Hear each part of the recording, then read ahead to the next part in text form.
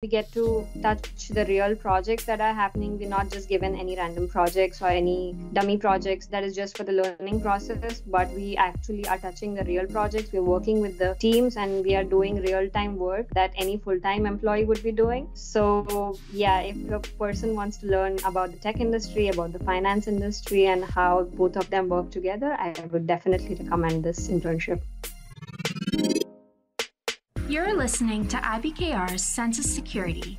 Find more conversations at ibkrpodcast.com. Please remember any trading discussions are for information purposes only and are not intended to portray recommendations.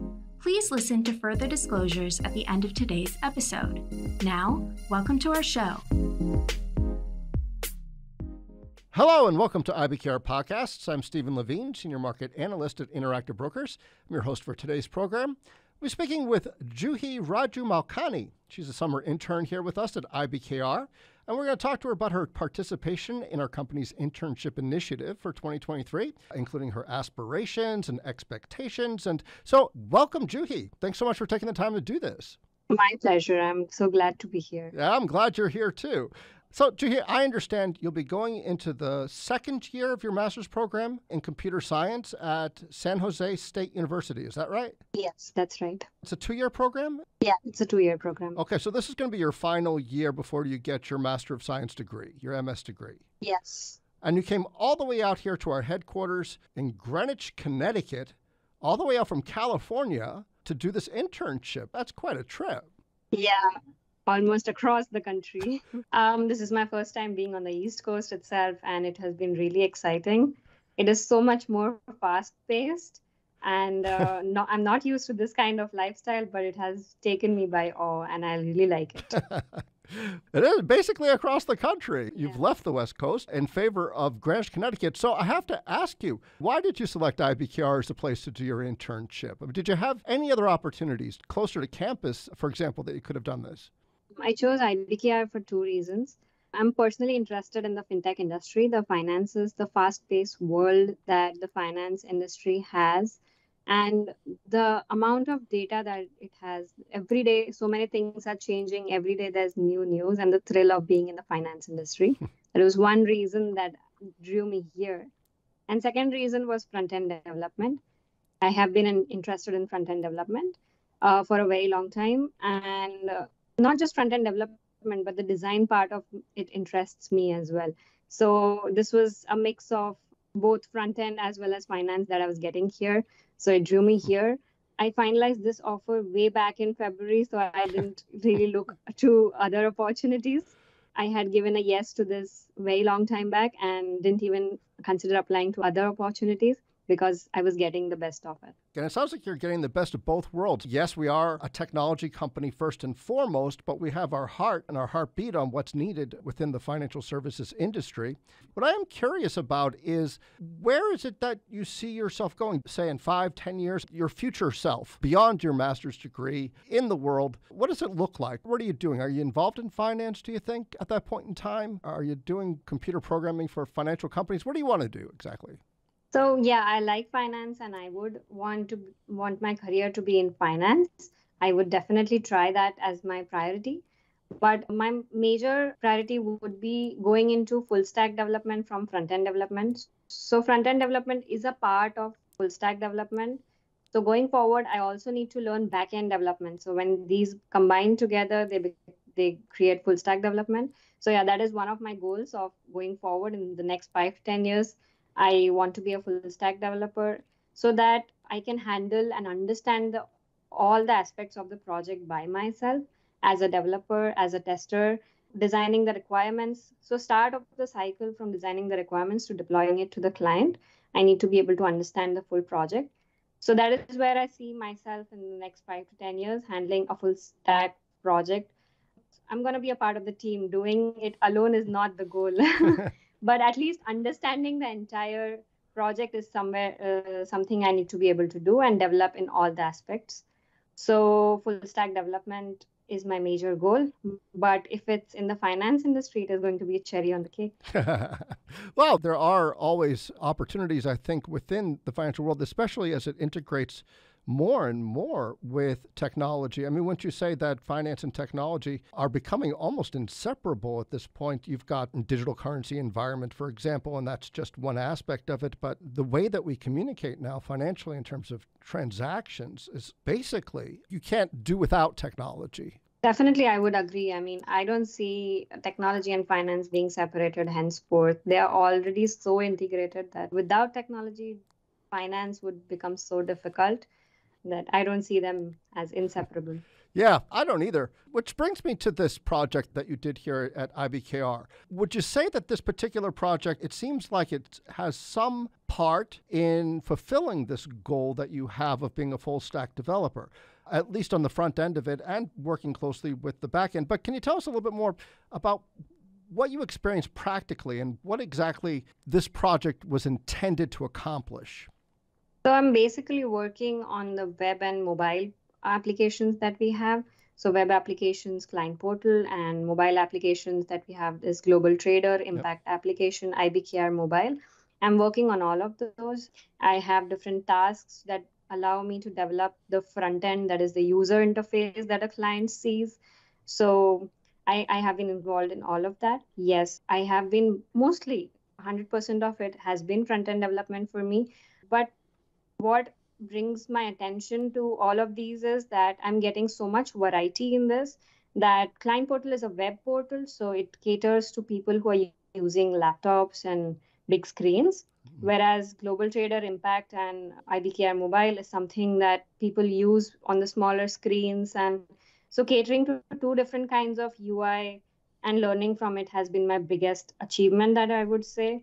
I have to be dynamic uh, because I'm not getting tasks in a list that, okay, these are client portal tasks or, or these are mobile tasks. I'm getting tasks randomly. So I have to be dynamic about working around them. And that has been my biggest gain from this. Is this a departure at all to your say experience in college in your master's courses? Does this complement that in a practical way? I mean what do you take with you that's unique from this experience? Definitely a more practical approach to my degree I have learned front end development in my degree in my previous semester as a semester long project. I was working as a front end developer in that project as well. But, you know, we developed and we displayed that project to the professor but here we are actually being able to deploy it to the clients going through the entire release cycles so we are seeing how that code gets deployed and the value of code in the market actually so yes the degree was more theoretical or more on the factual level but here we are actually seeing practically how it gets deployed and used by the users actually here, you actually get to put your skills to a certain use for an actual business case, and the results are actual. Yes. Yeah. yeah Whatever that's... code I have submitted has actually been deployed to production servers and it is being used by the clients. so I'm actually seeing the impact of the use by the clients. That, that's awesome. How do you feel about that? That's so awesome. My code being actually used.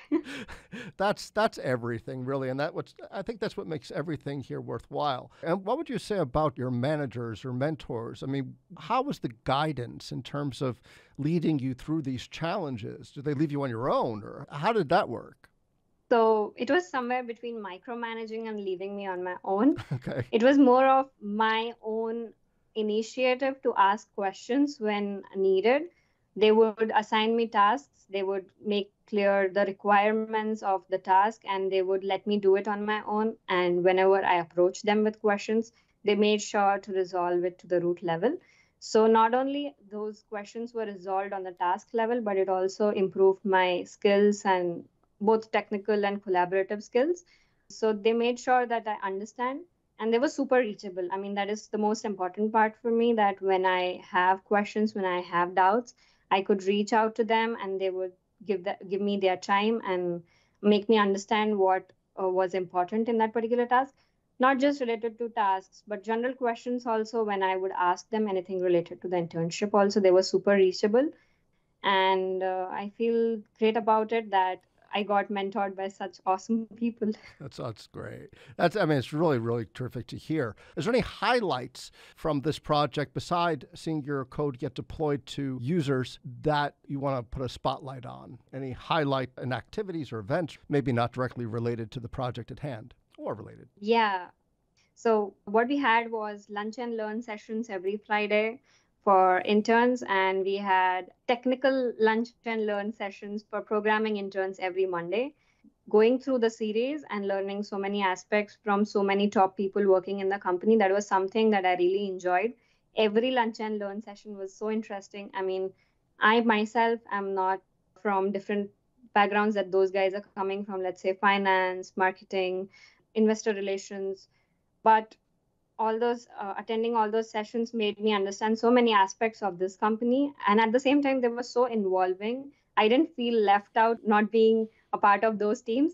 They they made us understand those concepts to the child level and it was an interesting experience for me apart from the coding yeah. world. So you got to know the company a little bit more holistically. Right. That's great. Is there anything else you'd like to add I feel that overall, this internship experience has given me a glimpse of what my full time might look like and how I need to perform in my full time experience and what I need to be careful about.